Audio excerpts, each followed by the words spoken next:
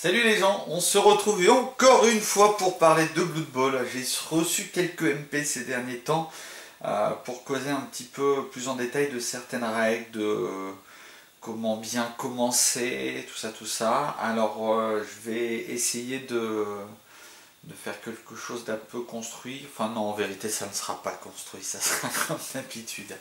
Alors, je vais commencer par euh, une petite chose. Donc, j'avais présenté la boîte de jeux Blood Bowl. Je vous donne un retour. Euh, bon, moi, je suis toujours aussi content concernant le matos. Euh, un des retours que je trouve intéressant, c'est que ça redonne un peu de vie au jeu. Non pas que c'est un jeu mourant, bien au contraire, mais il y a toute une partie de, joueurs qui ne connaissaient pas ou qui avaient arrêté ce jeu qui s'y remettent. Donc ça c'est plutôt cool. Je prends un exemple de là où je vis. Il y avait une ligue euh, il y a quelques années dans, une asso. La ligue euh, s'est arrêtée pour diverses raisons et puis là ça repart. Euh, faut dire que le jeu redonne un élan. Il y a des mecs qui ont envie de s'y remettre, remettre un peu la tête dedans. Donc ça c'est super cool. Encore une fois, Blood Bowl, c'est euh, mon jeu de cœur. Hein. C'est un jeu auquel je joue depuis maintenant 2008 euh, ou 2009, je crois. Euh, et même quand j'ai fait des pauses ludiques, parce que j'avais pas le temps, c'est le jeu sur lequel j'allais un peu geeker sur PC, où je pouvais taper une petite partie d'ici et là. quoi. Donc voilà, c'est clairement un jeu que j'aime beaucoup, pour tout un tas de raisons, et pas que pour le côté stratégique, pour le côté fun, pour le côté figuriniste aussi. Et puis c'est pas un jeu qui coûte un bras encore une fois, et ça, ça a quand même ses avantages. Alors, euh, on m'a posé la question notamment, je crois que c'est Deludic qui m'a demandé ça, euh, si le bouquin de Death Zone saison 1 était euh, important. Ah, en vérité, il l'est. Maintenant, je mettrai sous ma vidéo un lien vers un site qui s'appelle Empire Oublié, Empire Oublié, où tu verras, il y a des condensés euh, du bouquin de règles et de ce bouquin là dessus. Tout est gratos. Pas sûr que ce soit très très légal tout ça, mais en tout cas ça existe. C'est pas moi qui l'ai fait. Euh, faut savoir qu'Empire Oublié, c'est là-dessus où on allait télécharger et imprimer notre LRB6 avant que Game se, se réempare du jeu. Hein. Donc euh, euh, moi, je ne vais pas critiquer cette initiative car euh, il fait partie, le mec qui tient ce site fait partie des types qui ont fait en sorte que le jeu a continué à vivre. Donc euh, tout ça me paraît bien sympathique de sa part. c'est vachement de temps passé. C'est un passionné, j'imagine, ou c'est un collectif de passionnés. J'en sais pas beaucoup plus, hein, mais toujours est-il que là-dessus, vous allez trouver plein de renseignements, vous allez trouver les règles traduites, notamment les règles du terrain enneigé qui a disparu très rapidement disparu, qui a été vendu très rapidement, vous allez le trouver, euh, les règles euh, vont être dessus. Bon, comme c'est le même nombre de cases, vous pouvez jouer sur un terrain standard et appliquer les règles du terrain enneigé, hein, ça ne changera pas grand chose.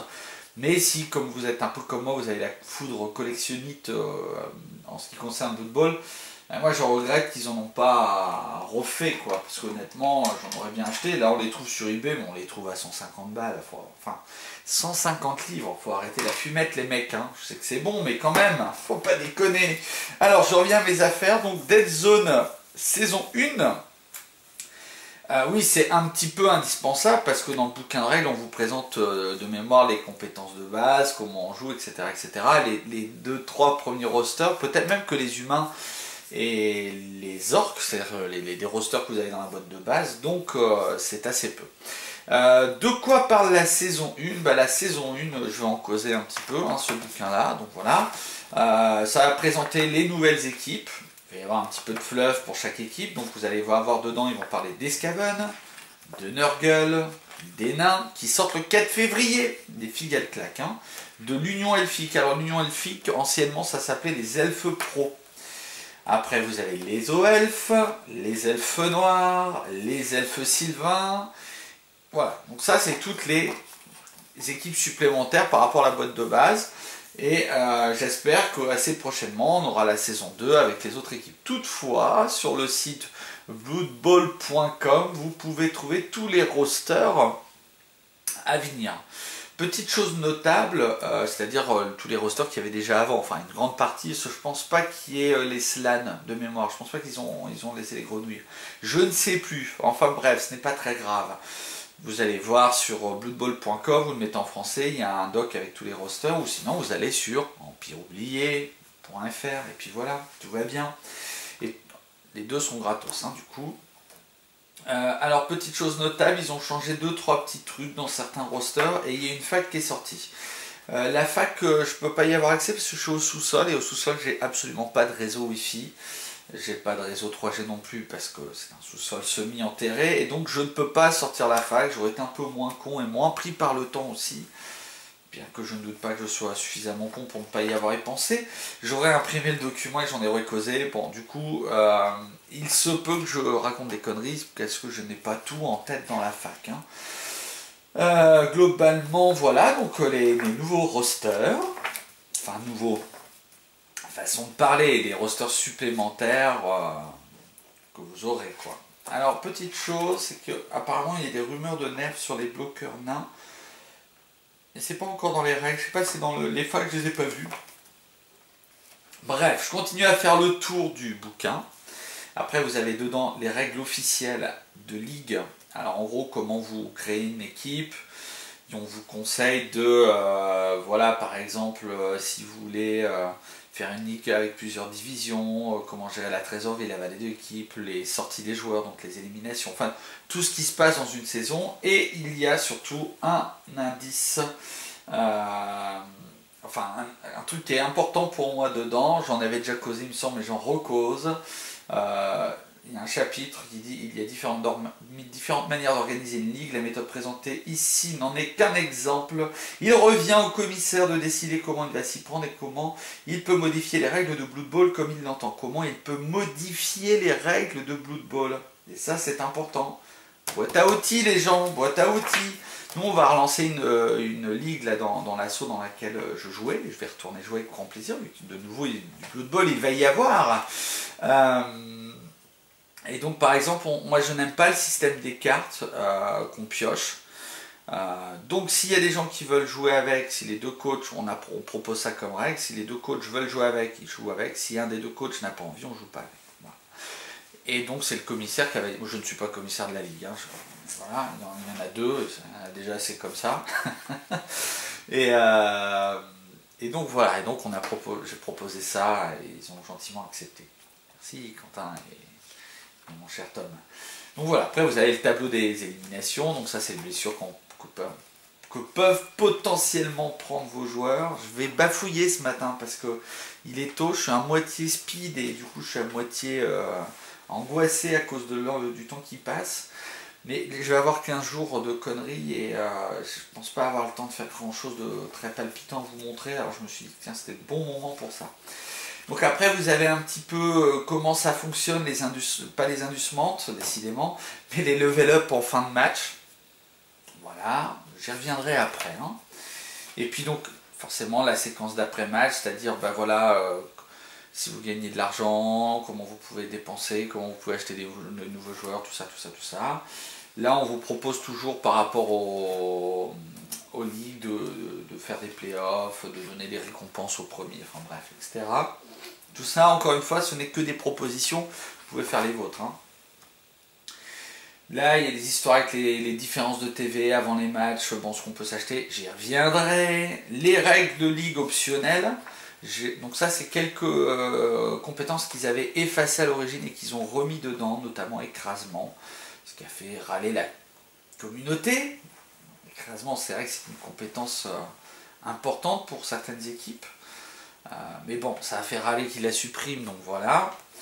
Euh, donc il la propose. Le tableau des compétences, euh, qui est de par ma gauche. alors par exemple, un truc intéressant dont je vais parler tout de suite, vous voyez quand vous prenez une équipe au hasard, c'est les Scaven, vous avez donc les compétences des gens, bon on s'en fout, et à la fin vous avez normal, une colonne normale, une colonne double pour chaque entrée du roster. Normal, c'est il y a un G majuscule pour les linemen, et puis double, il y a euh, AFPM. AFPM, c'est agilité, mutation, passe force. Et G, c'est général. Donc en gros, quand vous allez avoir un joueur qui level up, vous jetez 2d6. Si vous faites un G simple, c'est-à-dire un double, donc 1 et un 3, vous tapez dans le général. Si vous faites un double, vous avez accès aux compétences agilité, mutation, euh, pas, euh, voilà, etc., force. Et donc ça, ça change en fonction des entrées, tout ça, tout ça. Après, vous avez toutes les compétences avec quelques petits changements notables, mais peut-être que je ferai une vidéo pour parler que des compétences, je ne sais pas encore. Là, je fais de la papote, je présente le bouquin rapidos, ce que j'avais déjà fait euh, il y a un moment, mais quand j'avais pas fait la présentation de la boîte, j'avais trouvé ça pourri, je l'avais foutu à la poubelle, surtout. Bref. Euh, donc après, on, parle de la peau, du coach, donc toujours dans les histoires de création d'équipe, match d'exhibition, donc en gros c'est des, des League Open. Hein. Et puis après, voilà, on vous donne deux équipes euh, de 2 millions, une équipe d'or de mémoire, une équipe d'humains, qui ont déjà levé up vu qu'ils sont à 2 millions. Puis à la fin, vous avez quelques pages de tableaux référentiels concernant les rosters qu'on vous propose, ces nouveaux rosters.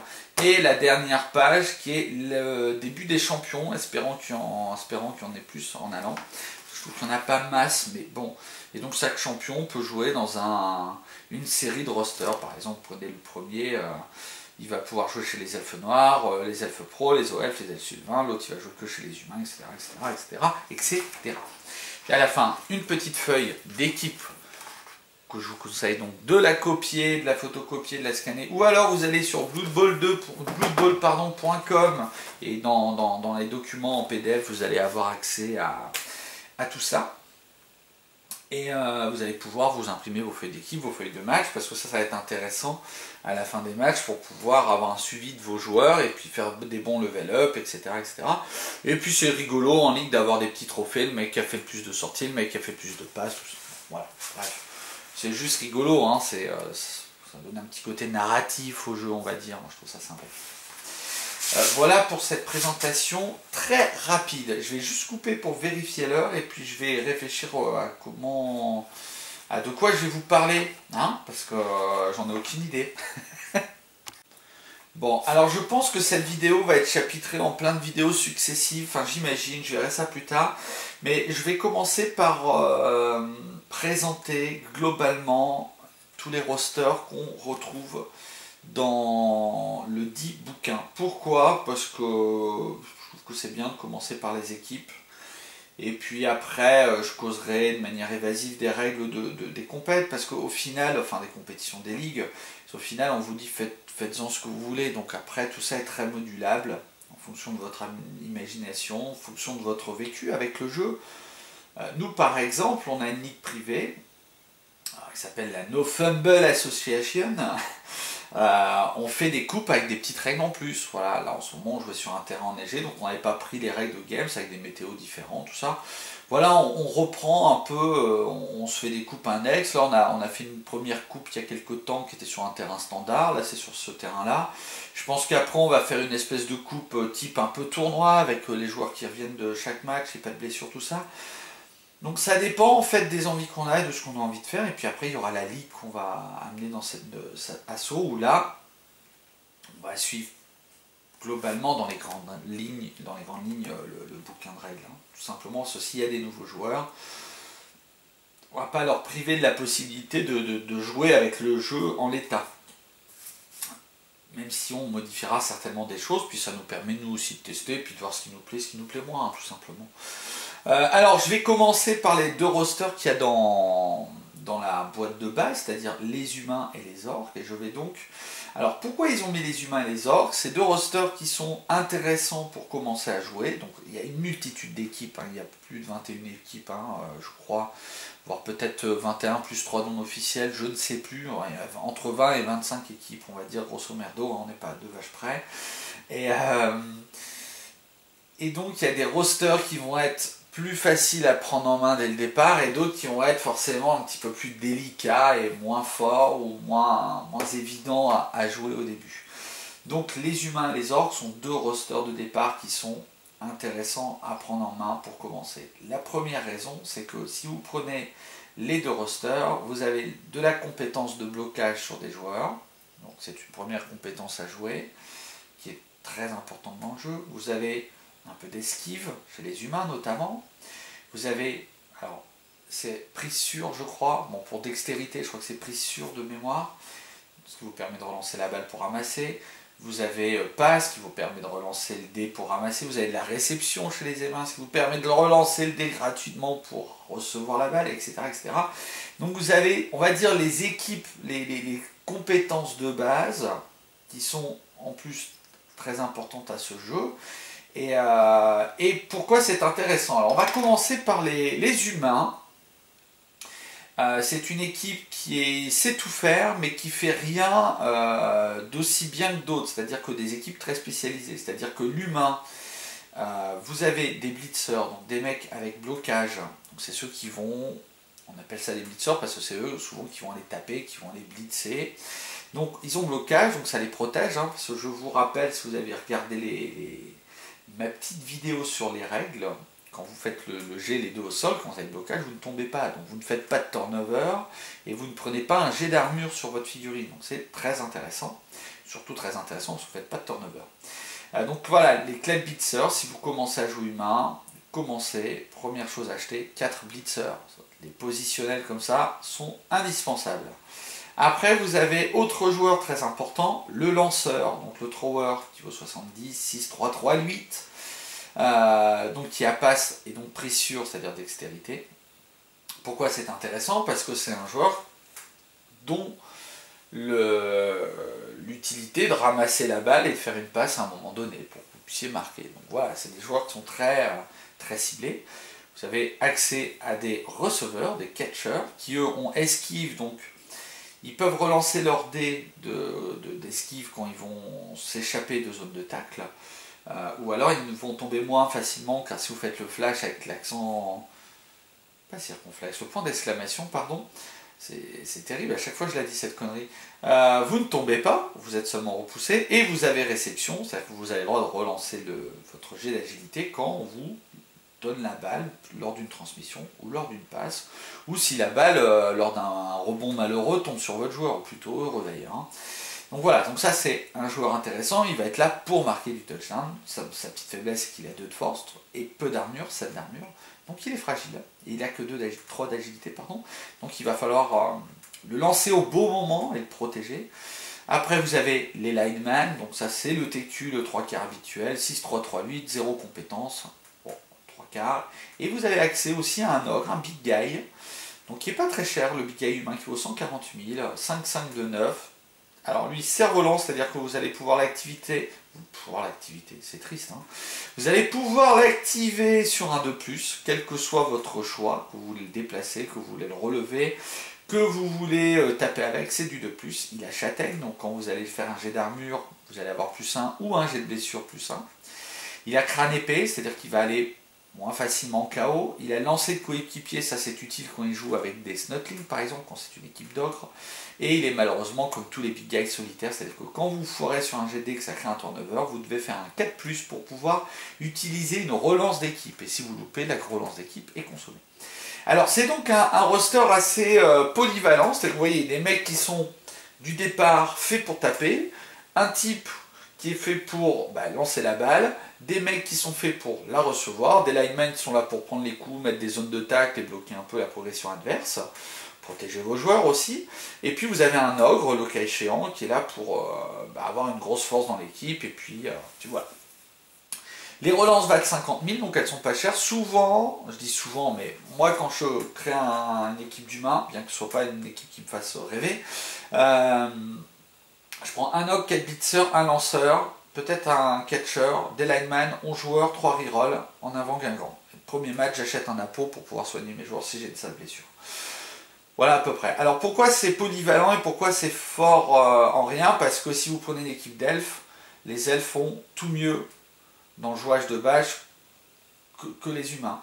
Si vous prenez une équipe de nains, les nains font tout mieux dans le jouage de bâche que les humains. Si vous, voilà, en gros, à chaque fois, quand vous avez des équipes qui sont polyvalentes, elles, sont, elles peuvent tout faire, mais elles font rien d'aussi bien que d'autres. Par exemple, les, reines du, jeu de balle, ce sont les elfes, particulièrement les elfes sylvains et les elfes pro avec des super receveurs, des super lanceurs et les sylvains en passant.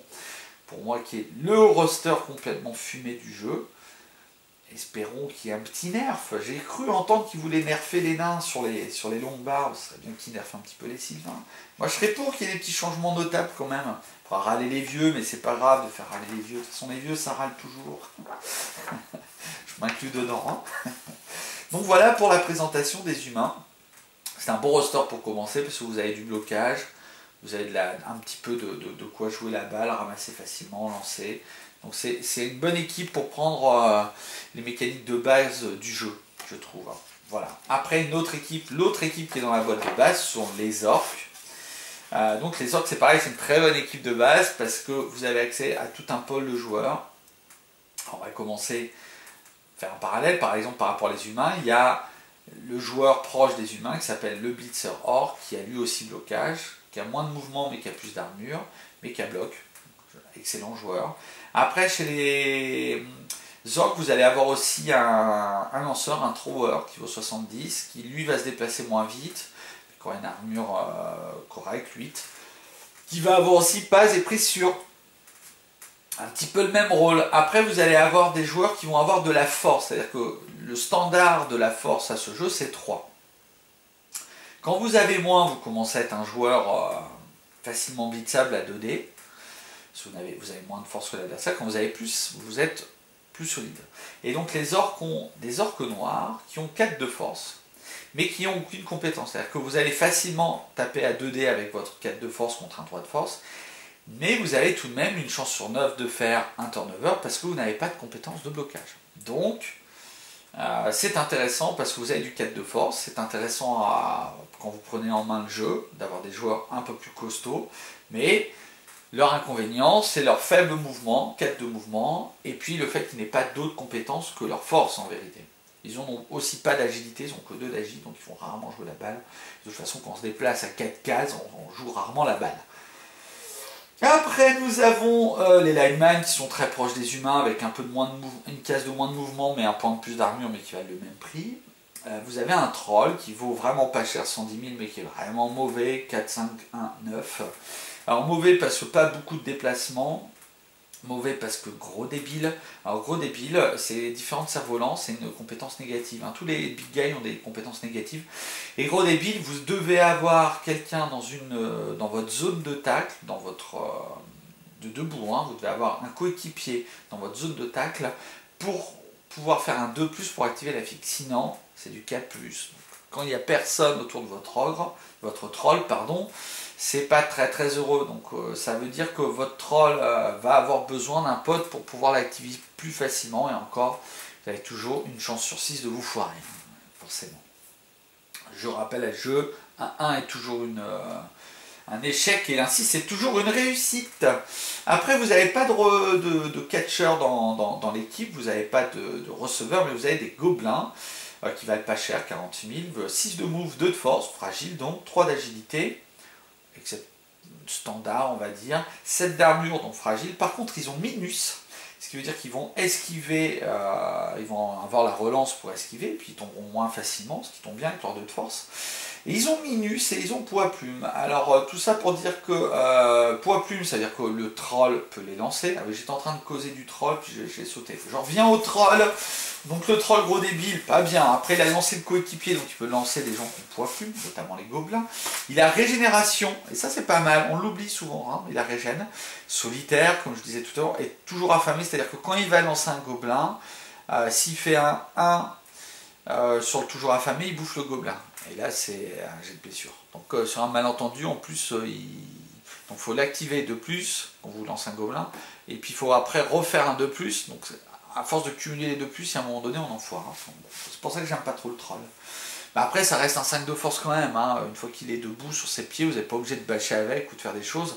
Quand il est sur pied, qu'il pose sa zone de tacle et son 5 de force sur la table, c'est toujours intéressant. Hein. Donc je reviens à mes petits gobelins. Euh, et donc minus, ça veut dire que quand vous allez esquiver dans... Peu importe dans le nombre de tacs que vous allez esquiver, quand vous êtes minus, vous allez toujours esquiver sur un 3+. En gros, c'est ça, si vous voulez pas vous prendre la tête. Et la dernière petite chose, le côté négatif, c'est que minus va aller dans la fosse KO plus facilement. voilà. Donc l'équipe d'orc, très bonne équipe aussi pour commencer, parce que vous avez des gens avec 4 de force, ce qui est intéressant pour bloquer les lignes. Vous avez des gens avec blocage, ce qui est intéressant parce que ça vous permet, comment dirais-je, de... Euh, eh bien tout simplement d'être content, ça vous permet de vous protéger, de ne pas tomber quand vous faites un post hein, les deux au sol. Euh, vous avez un ramasseur qui n'a pas beaucoup de mouvement, hein, c'est un peu son problème, il n'a que 5, donc il est un peu à la traîne, mais Il a le mérite de pouvoir ramasser sans utiliser trop de, de, de, reroll. Il a la passe, vous avez des petits gobelins pour les jouer, vous avez du lineman solide. A noter que le roster orc est solide parce que les, euh, les lineman, les blitzers, orc noir et troll ont 9 d'armure. Hein. donc passer de l'armure 9, c'est compliqué. Bon, bref, voilà.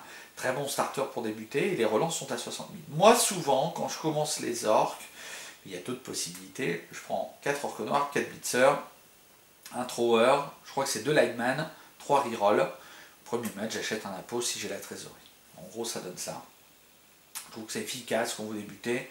C'est un roster solide. Après, il y a des gens qui vont se passer, par exemple, euh, je sais pas, d'un positionnel pour mettre le troll et qui vont rentrer plutôt un gobelin à la place. Euh, bon, voilà.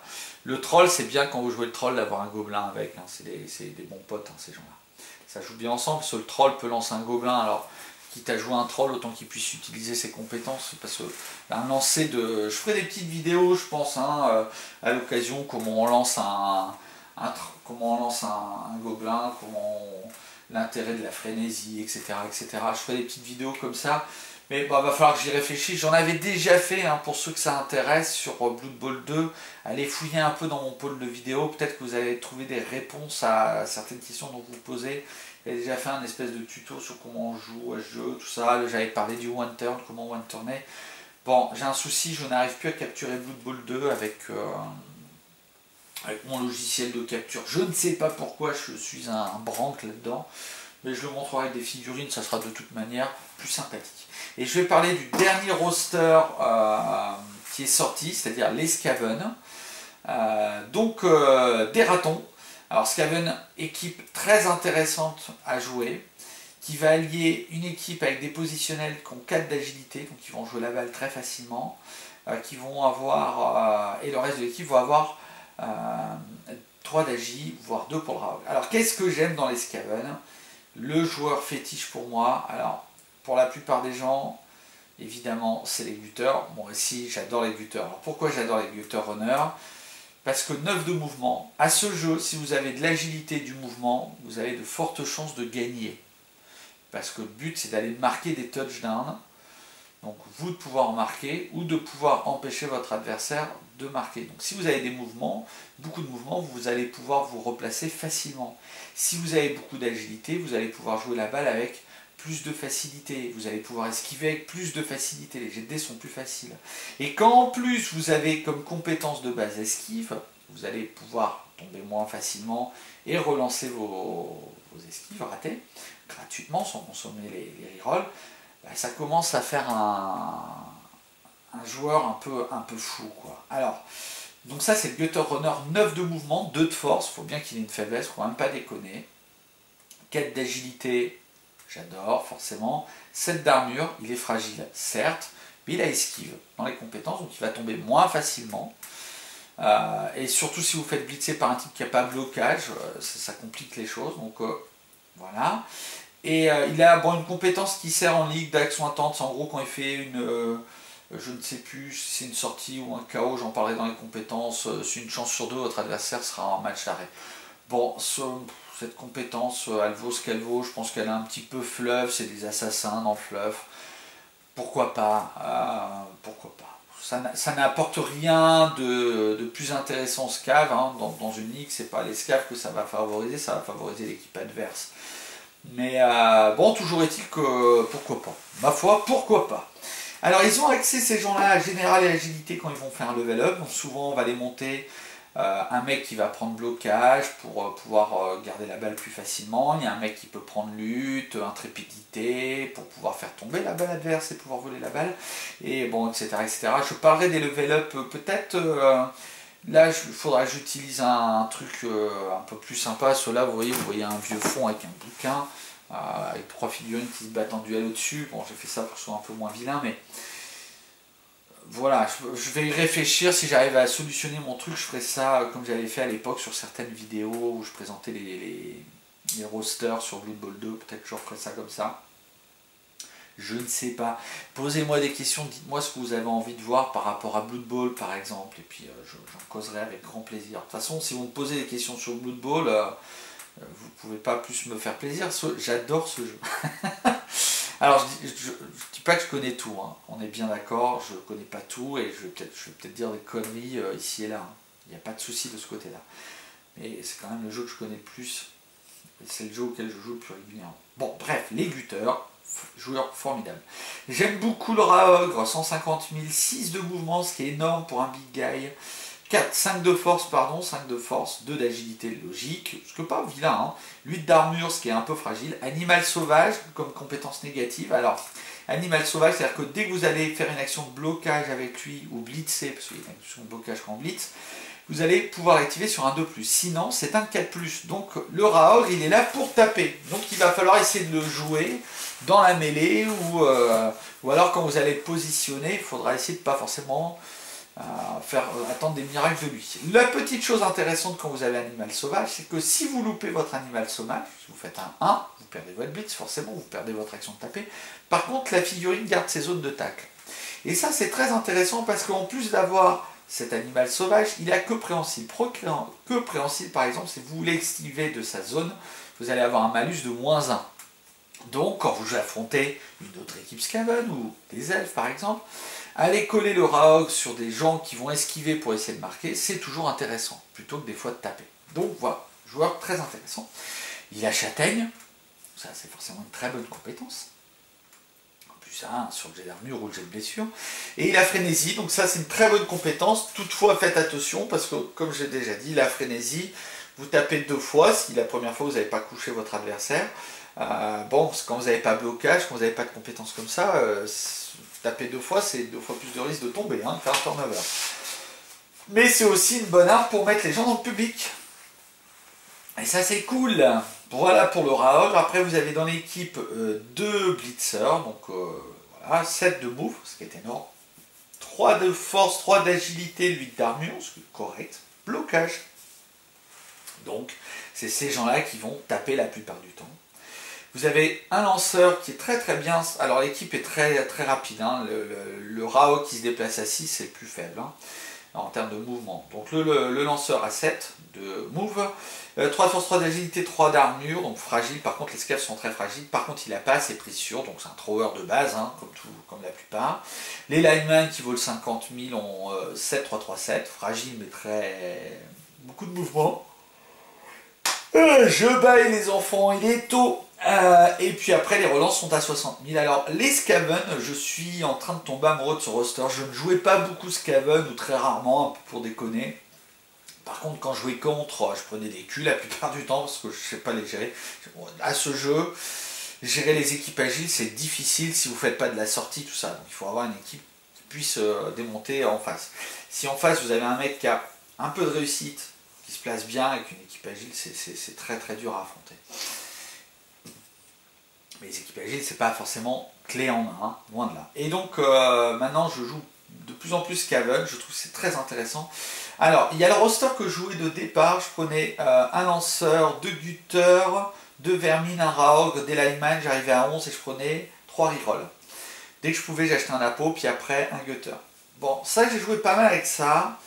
Mais souvent, je perdais un gutter assez rapidement et c'était vite le bordel. Actuellement, je joue euh, deux rerolls. Je prends un lanceur, je prends trois Ross 3 Gutter, pardon, le Raogre de Vermine. Les Vermines de choc, c'est le Blitzer. Hein. Et puis du 3K, on arrive à 11 joueurs et je crois que je prends un Napo à vérifier, j'ai un petit doute. Et ça, c'est pas mal non plus. Et l'autre, euh, alors ça, c'est un pote qui joue ça, qui, débute, mais qui, le joue comme ça et qui le joue plutôt bien pour un joueur débutant. Euh, Julien, si tu regardes cette vidéo, je te fais un petit coucou, qui lui, de mémoire, prend un lanceur, 4 Gutter, 2 reroll, un Raogre, 11 joueurs, pas d'apo. Euh, il va falloir que je teste, parce qu'honnêtement, 4 gutters de départ, même si vous en perdez un, euh, vous en avez toujours 3 autres pour, euh, pour courir de partout et gêner l'adversaire. Alors, il y a des rosters qu'ils n'aiment pas trop affronter, hein, mais plutôt des match-ups, euh, pas forcément toujours favorables, mais quand c'est des match-ups défavorables, ça reste raisonnable. Je pense que c'est ce qui est plus dur pour les Skaven à affronter, ça va être les lézards, ça va être les orques, des équipes forcément du tacle. Ça, ça va être compliqué parce que bah, vous avez quand même que 7 d'armure. Et comme votre équipe n'a pas entièrement 4 d'agi, vous ne pouvez pas esquiver facilement pour vous barrer et éviter les pas. Euh, voilà pour la présentation de ces trois premières équipes. pense que je vais m'arrêter là pour aujourd'hui.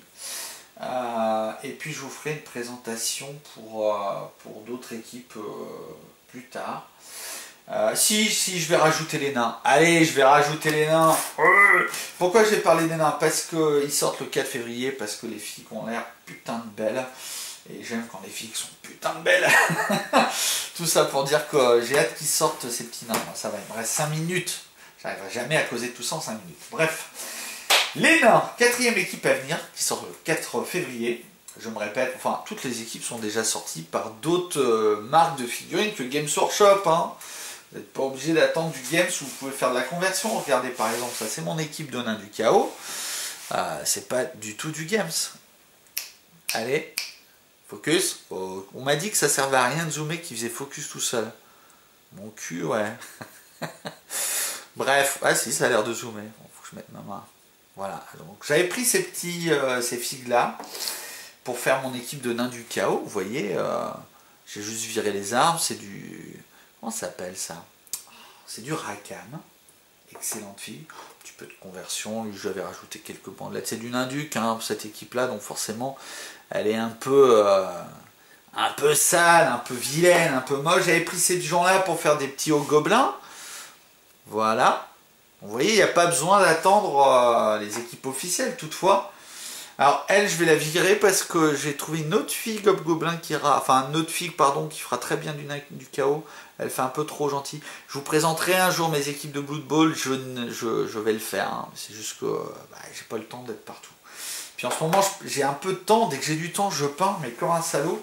Et du coup, enfin, comme un salaud, j'ai le temps, je me fais plaisir, quoi un autre petit. Lui, il faudrait que je repeigne parce que l'armure, j'aime pas du tout ce que j'ai fait à l'époque. Par contre, je m'étais bien amusé sur sa gueule. Voilà, voilà pour lui. Alors, je suis pas du tout en HD, je sais pas du tout si ça va être joli ou pas. Mais on s'en fout.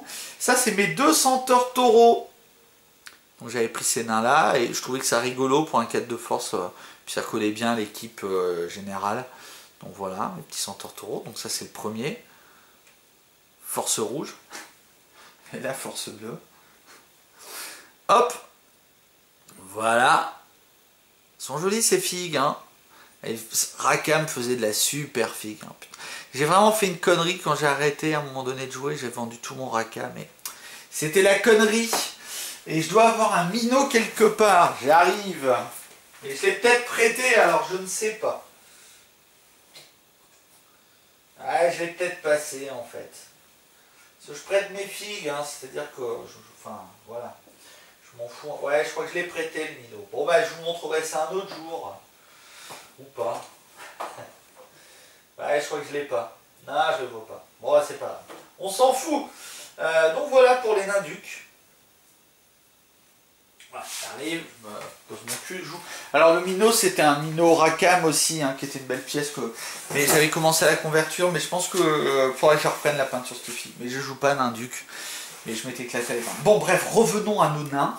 C'est pareil, une équipe de nains, j'en ai une. Euh, allez, on prend 5 minutes. Merde, hein. en retard au boulot Non, j'ai de la marge en fait. J'ai de la marge. Ça va digresser. C'est très mauvais. Quand je commence comme ça, ça va être n'importe quoi. Bon, de toute façon, vous avez l'habitude. Hein. Et moi, ça me fait marrer. Oula, j'espère qu'on n'a pas vu ma gueule. Ah, je ne sais pas. tant pis, hein. alors n'ayez peur. Hein. J'espère que ça vous fera pas peur si vous l'ayez. Donc ça c'est mon équipe de nains, pareil, j'avais converti de la figue. Alors la peinture, je suis désolé, c'est des figues que j'ai peint il y a longtemps. Euh, à l'époque j'étais content de la peinture, euh, aujourd'hui euh, je la trouve assez... je la trouve pas très très très réussie quoi. Alors peut-être que, puis en plus c'est des équipes qu'on jouait, alors les filles elles ont pris des pétards, elles sont un peu... Bon bref, je vous montre rien pendant ce temps-là. Donc la peinture elle vaut ce qu'elle vaut, elle date, euh, fort heureusement j'ai avancé un petit peu, mais euh, cela dit je les aime bien ces filles, hein, j'aime bien, ils ont une bonne petite boubouille quoi. Donc ça c'est mes blitzers, donc je sais plus comment ils s'appelaient ces nains là, euh, je crois que c'était les, les trucs à vapeur là. voilà, donc vraiment je m'étais pas fait chier. Hein. Il y a trois couleurs et puis du métal. J'ai même pas mis de traces de sang sur le. Il faudrait que je les rejoue ces figues. Elles me donnent envie de les jouer. sur un malentendu, je pourrais avoir envie de les repeindre aussi, de les décaper, de les refaire. Ah. Vous me posez à la tentation, les gens. C'est pas bien. Alors, mes deux coureurs, euh, j'avais pris deux petites nénettes euh, naines. Aux boobs euh, des plus avancés. Ah, gros boobs, hein, c'est des naines équipées. Hein. N'y voyez là aucune blague misogyne. Hein.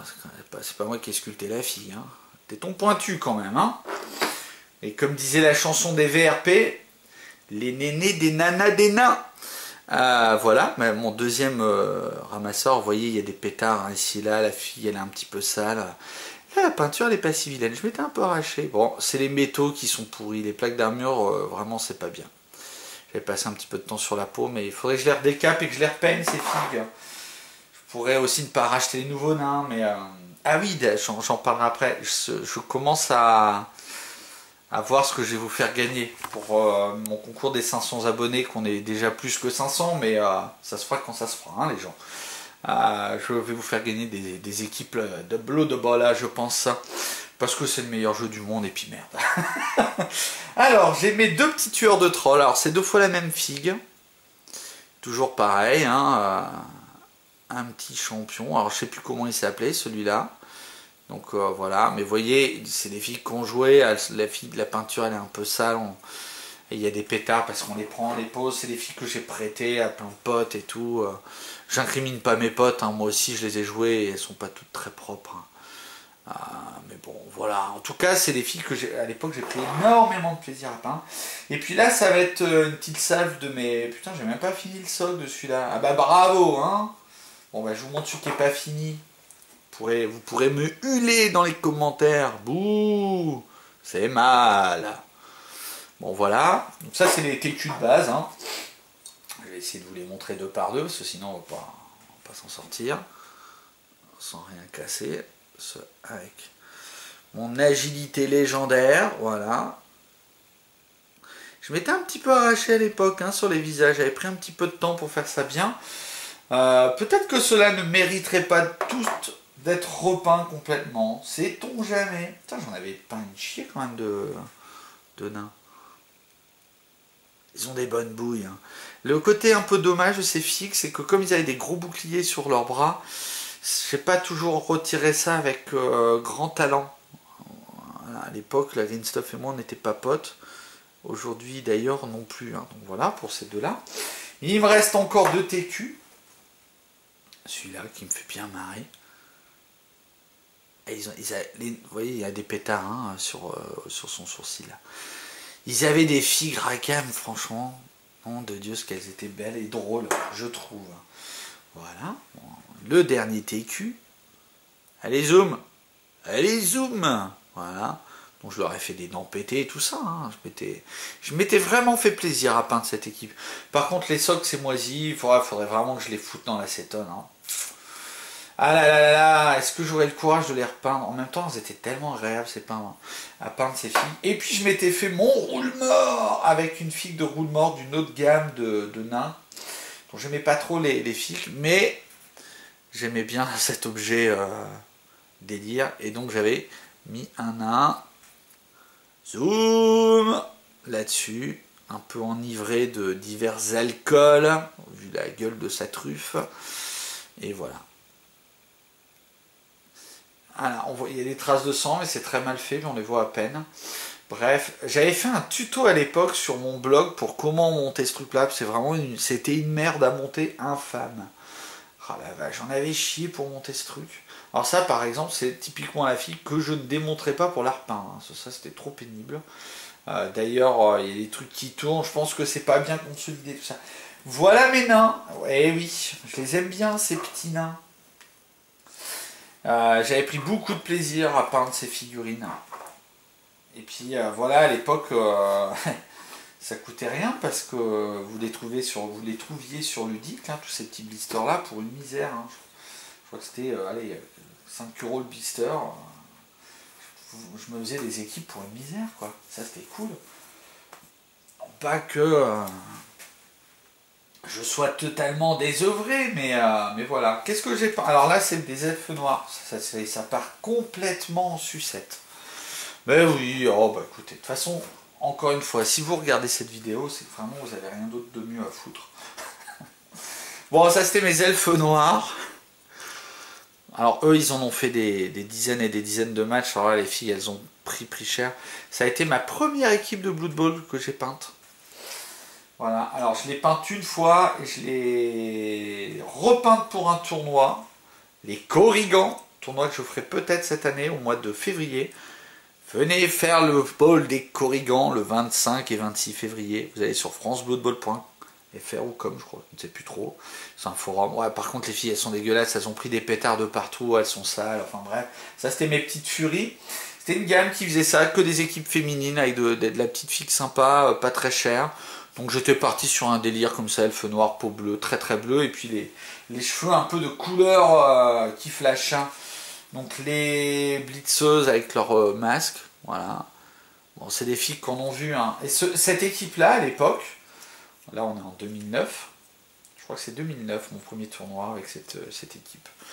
elle avait gagné le prix peinture du tournoi. Et oui monsieur, comme quoi les prix peinture, des fois, ça vole pas haut. Hein. Et puis là, ces petits trois quarts. Non, je pense qu'ils avaient, bien aimé le délire euh, figurine en bleu, quoi. Bon, puis à Blood Bowl, tout le monde peint pas. Hein. Avant tout des joueurs de bonhommes plus que des peintres. Hein. Bon, bref, voilà l'équipe. il y en a encore deux autres, mais on s'en fout. Euh, tout ça pour dire que bah, Blood Bowl c'est le meilleur jeu du monde, et puis c'est tout. allez, je vais vous montrer un truc. Et puis après, je causerai des nains. Non, je vais causer des nains et je finirai par vous montrer un truc. Je vais vous montrer mon petit truc. Quelle il est ouais. Ah, ouais, non, ça va encore. Je sais pas quand est-ce que je vais pouvoir la mettre en ligne cette vidéo. Alors, retour euh, sur euh, le cours magistral de comment jouer à Blood Bowl. Les tenants et les aboutissants par Pousse Plomb. Donc, l'équipe de nains qui arrive le 4 février, mais vous pouvez déjà en avoir, hein, je vais pas me répéter, même si j'en ai envie. Donc, c'est une équipe très solide. Tous les mecs ont 8 9, pardon, je dis des conneries, tout le monde a quasiment 9 d'armure. Sauf les runners et les trolls, Slayer, j'en causerai. Le roule mort à 10. Autant dire que c'est la solidité incarnée ce roster. Euh, chose notable, alors c'est des nains, on le voit sur le terrain, le mouvement général est assez bas. On va commencer par euh, une chose intéressante, tous les nains la plus, ont blocage, sauf les runners et puis le def roller. Donc on va commencer par les TQ qui valent 70 000, qui ont 4 de move, 3 de force, 2 d'agi, mais on s'en fout, ils sont pas là pour ça. 9 d'armure, blocage et crâne épée. Crâne épée, ça veut dire que vous allez aller dans les fosses euh, KO moins souvent. Au lieu d'aller en 8-9 euh, en KO, vous allez KO en 9. Donc autant dire que votre mec il reste à sortir du nain, c'est velu quoi, c'est compliqué. Euh, voilà, pas beaucoup de mouvements, mais en même temps ils sont là pour taper. Hein blocage crâne épée et ils ont tacle, c'est-à-dire qu'ils annulent la compétence esquive de l'adversaire. Autant dire que c'est bon. Euh, chose notable, alors il y a des rumeurs, si j'ai bien compris, qu'ils auraient une euh, compétence euh, due à leur longue barbe. En fait, les linemen, les bloqueurs non, avant on les appelait les longues barbes. Hein. En fait, ils feraient des go for it, donc des paquets, sur du 3 et non du 2 Alors est-ce que cette compétence va vraiment arriver? Je ne sais pas. Après, vous avez deux runners. Les runners sont ceux qui vont ramasser euh, la balle. Donc, ils ont 6 de move, c'est la positionnelle le plus rapide. 3 de force, 3 d'agilité, ça tombe bien, ils jouent la balle. 8 euh, d'armure, donc plus fragile. Ils ont crâne épée, ils encaissent plus. Et ils ont pressure, donc dextérité. Ils n'ont pas blocage, ils n'ont pas 9 d'armure. Donc il faut quand même faire gaffe au début euh, de ne pas trop les exposer. Puis si vous les exposez qui sont la balle, bah forcément, c'est pas la bonne idée. quoi.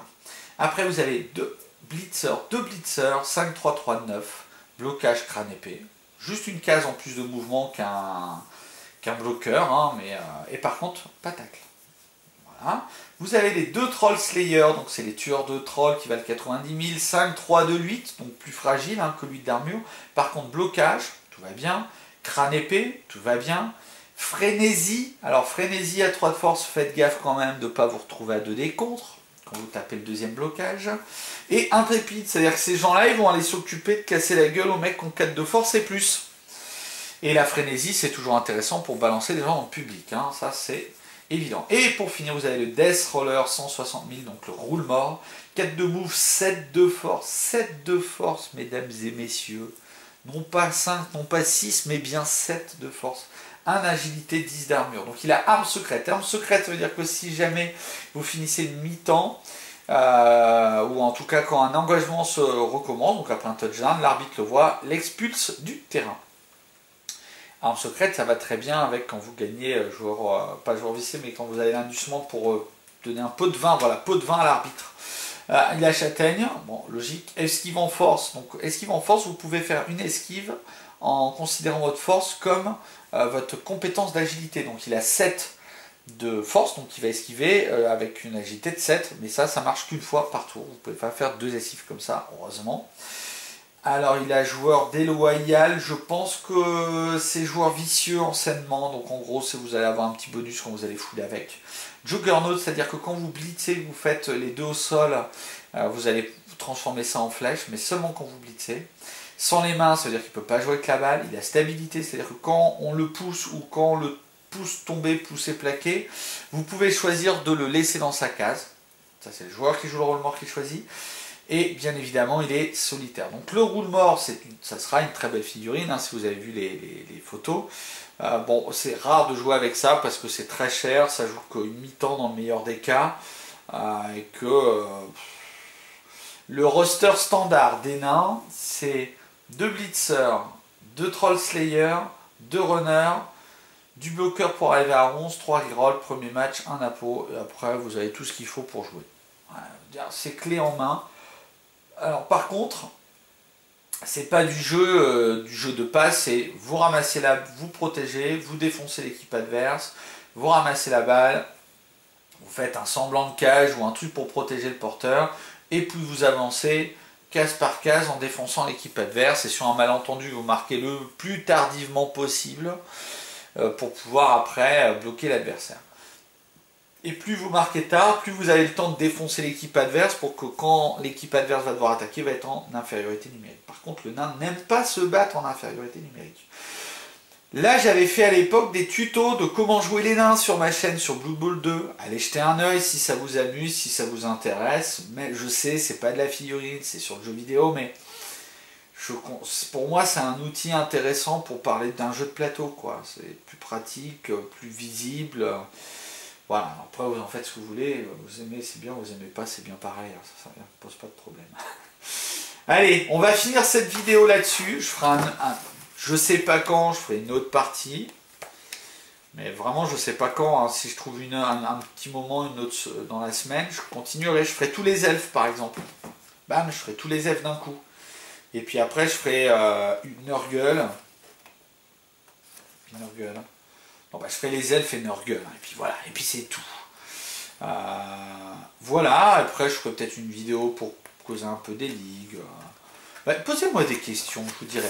Après, je vous ferai des vidéos hein, sur le placement. On m'a demandé ça. Comment comment prendre bien en main le jeu, tout ça. Donc là, à cause de ce bouquin-là, parce qu'on m'avait demandé si c'était indispensable. Euh, ça vaut 20 balles. Ça vaut 20 balles. je trouve que c'est raisonnable. Après, c'est pas un gros bouquin, c'est pas très épais. Bon, moi je pouvais pas ne pas l'acheter, je suis un fan, euh, fan de merde de jeu, donc forcément euh, j'ai faibli, mais euh, à voir.